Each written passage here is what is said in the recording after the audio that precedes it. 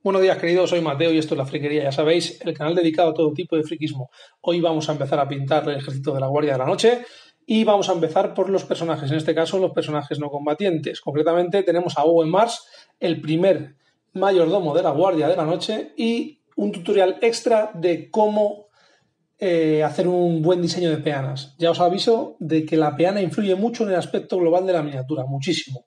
Una miniatura buena, bien pintada, con una peana chapucera, desluce un montón. No queda, vamos, ni parecido. En cambio, una miniatura normal o normal tirando a buena, con una buena peana, da un aspecto global mucho, mucho mejor, mucho más trabajado, más, más compacto, incluso más uniforme.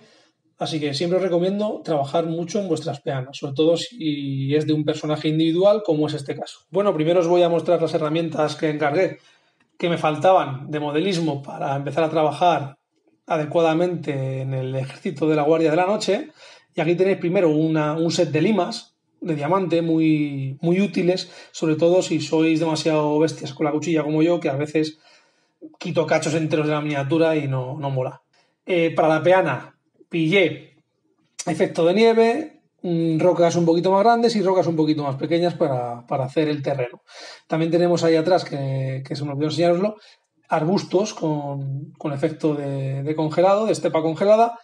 Luego tenemos dos botes de spray. El primero es de imprimación negra, porque la guardia de la noche voy a imprimirla negra, no, no en disco, como me suele gustar a mí, porque el acabado oscuro de la guardia de la noche me obliga a imprimirlo, obviamente, en negro. Y obviamente también quita mucho trabajo de, de pintar de color negro.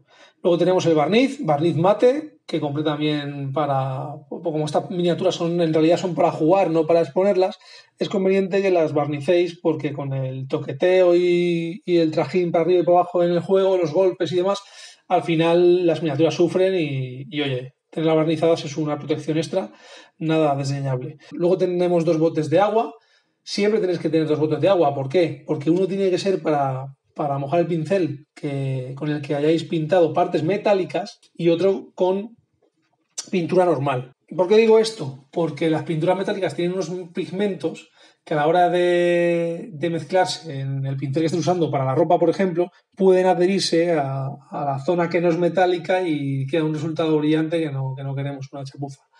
Luego tenemos un painting handle, que es el, agarrador, digamos, de miniaturas, muy útil también. Y luego un set de peanas que recortaré y modificaré a mi antojo para incluirlo como losas de suelo, ¿no? de castillo, de templo, etcétera, para los personajes no combatientes de, de mi ejército.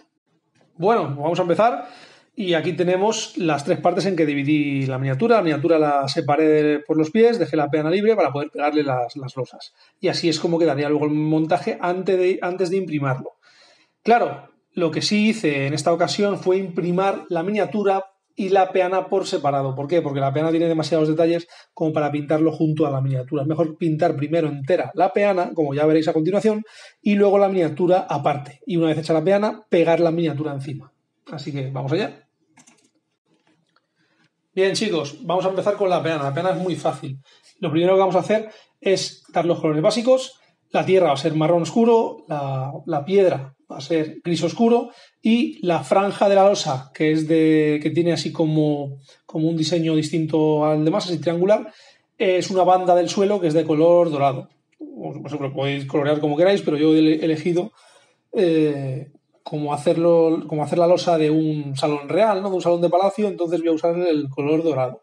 Esto se trata de, como es una peana con mucho relieve, es ir dando, ir usando la técnica de pincel seco. Eh, pintamos de colores básicos y vamos subiendo poco a poco el color, el brillo, perdón, colores más claritos con la técnica de pincel seco. Previamente, después de las capas base, vamos a dar una capa de tinta, de lavado de tinta, para que se metan las sombras en los recovecos de, la peana y así dé una sensación de profundidad. Para la roca es muy fácil porque va subiendo de. vas, aligerando el tono de gris hasta acabar con un gris casi blanco. Todo eso pincel seco y ya veis cómo va quedando espectacularmente bien. Y con un, además con una técnica muy básica que todo el mundo puede hacer. La es coger un pincel viejo, simplemente, ya sabéis, cogéis pintura con él, pero retiréis toda la pintura que sobre en una servilleta. Yo, yo suelo usar papel de cocina, que es más absorbente, y hasta que veáis que no pinta sobre el papel, no paréis. Dais, pinceladas sobre el papel de cocina hasta que el pincel no manches. Entonces es el momento en el que, dar, en el que empezar a dar el pincel seco a la miniatura, en este caso a la peana. Para el dorado, tres cuartos de lo mismo. Dorado oscuro, capa de tinta y dorado, más clarito hasta acabar con un dorado muy brillante. Y la tierra igual, marrón oscuro, capa de tinta y marrón clarito, marrón clarito, marrón clarito.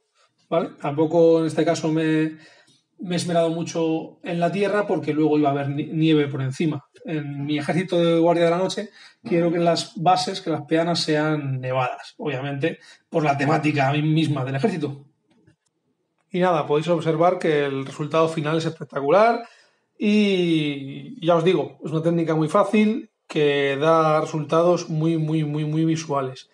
Luego lo único que hice para adornarlo fue ponerle uno de esos arbustos que os dije antes, con un efecto de pradera nevada, y ya lo tendríamos a falta de la nieve, que luego os enseñaré cómo se hace. Bien chicos, pues ya tenemos la peana lista, así que lo único que nos queda es pegar la miniatura encima de la peana. Aquí lo tenéis, lo primero que se puede observar es que hemos dado una capa de pincel seco de gris en toda la miniatura. ¿Por qué hemos hecho esto? Para que nos sirva para saber dónde van las luces, después y de hecho para hacer las primeras luces de la miniatura. A mucha gente le gustan así las miniaturas, de hecho las deja así con un lavado de tinta y poco más, pero obviamente hay que terminarlo, no hay que ser vago. Entonces, después de, de una capa más de pincel seco de gris clarito, vamos a empezar a pintar la piel, porque solamente tiene una parte de piel que es la cara, entonces lo que hacemos es dar una capa de, de piel eh, y lavarla con tinta marrón, todo de The Army Painter, y luego empezar a pintar otras partes de la miniatura. En este caso vamos a empezar por las partes de cuero. En este caso en la miniatura yo creo que me, me equivoqué al pintar los guantes de marrón en lugar de dejarlos negros, porque entonces parece que hay como si hubiera demasiado demasiado cuero en la miniatura. Pero bueno, para la siguiente ya lo corregiré.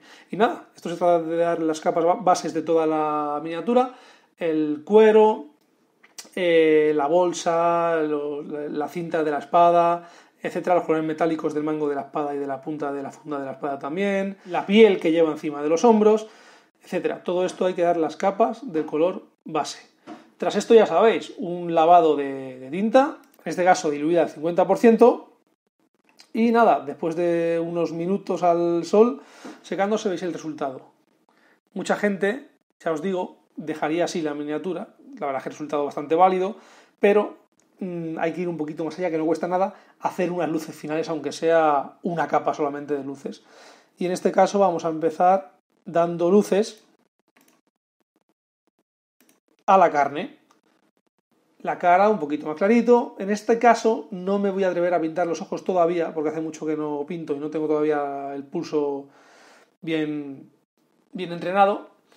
Y además, esta miniatura es tan pequeña, yo soy, yo, soy de los que dicen, yo soy de los que creen que, es un retroceso, que la miniatura, si no es un maestro pintando, mejor no pinte los ojos, porque la sombra que crea queda muy bien. En cambio, si pintas los ojos, al principio suelen quedar bastante estrábicos, parecen bizcos los, muñecos. Realmente no es difícil que queden bien a este nivel de miniaturas de 28 milímetros, 30 milímetros. Y nada, esto se trata de ir dando luces poco a poco hasta que deis las últimas pinceladas muy, muy, muy, muy finas en zonas más prominentes como los nudillos, la nariz, los pómulos, eh, pincel seco en el cuero, en, la piel de encima de los hombros.